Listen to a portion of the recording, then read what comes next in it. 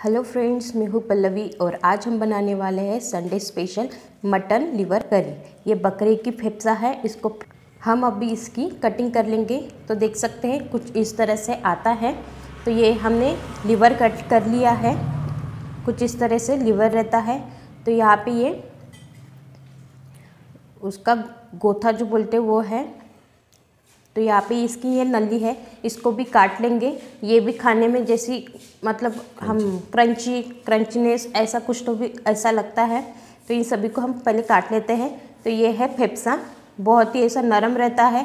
आपको चाकू अच्छा धार वाला लेना है तो उससे कटिंग बहुत ही इजीली अच्छी हो जाएँगी। तो यहाँ हम लीवर ले लिया है तो लीवर को भी हम काट लेते हैं। बहुत ही इजीली कट जाता है क्योंकि ये बहुत ही सॉफ्ट होते हैं। इन सभी की हम कटिंग कर लेंगे। तो अभी हम ले लेंगे तिल्ली। तो इसको कटिंग करके इसके ऊपर का जो भी चमड़ा है ना उसको हम निकाल लेंगे सबसे पहले। बाद इस तरह से देख सकते हैं आप। देख सकते हैं इजीली निकल गया वो चमड़ा और इसको भी काट लेते हैं। तो इस तरह से हमारी पूरी कटिंग हो चुकी है। अभी हम इसको वॉश कर लेंगे। तीन चार बार वॉश कर लेंगे हम इसको अच्छे पानी से। ताकि इसकी जो भी अंदर की गंदगी है, वो सभी निकल जाए और इसको हम दबा दबा के नहीं निचोड़ेंगे क्योंकि ये एकदम सॉफ्ट है तो एकदम मतलब वो दब जाएँगे। तो यहाँ हमने गैस पे एक पतीला रख दिया है। इन सभी चीज़ों को हम अभी उसमें डाल देते हैं। ऐसे ही डालेंगे क्योंकि उसमें थोड़ा सा पानी है। अभी हम इसको डालकर इसको भून लेते हैं थोड़ी देर। दो से तीन मिनट तक भून लेंगे। तो यहाँ हमने दो से तीन मिनट तक भून लिया है। अभी हम इसमें डाल देंगे एक गिलास के करीब पानी डाल देंगे। इसे हम पाँच मिनट तक ढककर पका लेंगे लो मीडियम पावर में। तो यहाँ पे पाँच मिनट भी हो चुके हैं और हमारे फेफसा जो है ना, वो मस्त पक के रेडी हो चुका है। ये देख सकते हैं, पूरा सिकुड़ गया है। तो अभी हम गैस को कर देंगे बंद और इसको छान कर हम निकाल लेते हैं। अब सब्ज़ी बनाने की तैयारी कर लेंगे। तो यहाँ पे हमने गैस पे एक पैन रख दिया है, उसमें डालेंगे तीन से चार टेबलस्पून ऑयल मटन की सब्ज़ी में ऑयल ज़्यादा ज़्यादा है, इसलिए ज़्यादा ऑयल लेंगे। तो ऑयल यहाँ पे गर्म हो चुका है, इसमें डाल देंगे खड़े मसाले, दो तेज़पत्ता, मीरे, लौंग और एक इलायची।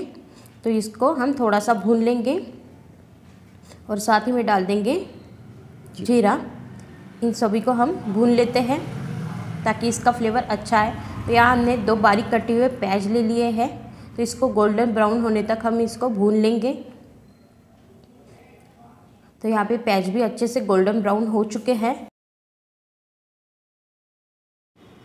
अभी हम इसमें डालेंगे अदरक, लहसुन का पेस्ट तीन चम्मच हमने लिया है, इसको भी डाल देंगे और इसका कच्चापन ख़त्म होने तक हम इसको अच्छे तरीके से भून लेते हैं इसमें। अदरक लहसुन का पेस्ट भी अच्छी तरीके से भून चुका है। तो अभी हम इसमें डालेंगे दो टोमेटो की प्यूरी। तो टोमेटो की प्यूरी जब तक वो अपना तेल नहीं छोड़ेंगी, तब तक हम उसको तेल में भून लेते हैं। तो यहाँ पे देख सकते हैं, टोमेटो की प्यूरी ने भी मस्त ऐसा तेल छोड़ दिया है। तो अभी हम इसमें डाल देंगे सूखे मसाले, लाल मिर्च पाउडर, हल्दी पाउडर, धनिया पाउडर गरम मसाला, जीरा पाउडर, कस्तूरी मेथी और स्वाद के अकॉर्डिंग नमक। और सब्ज़ी को अच्छा कलर आना चाहिए, इसलिए यहाँ हमने लिया लिया है कश्मीरी लाल मिर्च पाउडर। तो इन सभी को पहले मिक्स कर लेते हैं। तो थोड़ा सा हम पानी डाल देंगे ताकि मसाले जो है ना, तले को चिपक के, जले ना करके तो इसको मिक्स करके हम इसको दो से तीन मिनट तक ऐसे ही पकने के लिए छोड़ देंगे।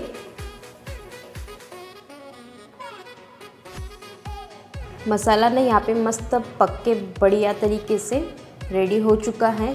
देख सकते हैं कितना बढ़िया दिख रहा है। अभी हम इसमें डाल देंगे मटन लिवर कलेजी। इसको हम इसमें डाल देंगे और इसको मिक्स कर लेंगे ताकि ये मसाले में अच्छे तरीके से लिपट जाए।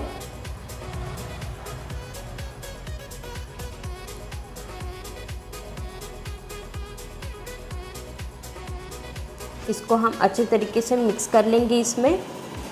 और इसको हम मसाले में ही दो से तीन मिनट तक पकने के लिए छोड़ देंगे। तो यहाँ पे दो से तीन मिनट हो चुके हैं। हमारी सब्ज़ी भी मस्त अच्छी तरीके से पक के रेडी हो चुकी है। तो हम इसको कर रहे हैं थोड़ी सी तरी। तो अभी हम इसमें डाल देंगे एक गिलास के करीब पानी। और उसको भी मिक्स कर लेंगे। इसको भी हम दो से तीन मिनट तक कवर कर कर पकने के लिए छोड़ देंगे। तो यहाँ पे मस्त ऐसे हमारी सब्ज़ी बनके रेडी हो चुकी है। देख सकते हैं आप। मस्त ऐसे तरी दिख रही है ग्रेवी दिख रही है। अभी हम इसमें डालेंगे फ्रेश बारीक कटा हुआ धनिया पत्ता। और इसको हम डालकर अच्छी तरीके से मिक्स कर लेंगे और गैस को कर देंगे। अभी हम बंद और अभी हम चलेंगे सर्व करने की प्रोसीजर पे। तो यहाँ देख सकते हैं, हम इसको रोटी के साथ सर्व किया है। कितनी मस्त, बढ़िया, ज़बरदस्त दिख रही है। इसको आपके घर के सभी सदस्य खाने के लिए बेताब रहेंगे। इतनी मतलब ज़बरदस्त बनती है सब्ज़ी। अगर आपको मेरी ये रेसिपी अच्छी लगी है, मुझे लाइक शेयर सब्सक्राइब करना ना भूलें।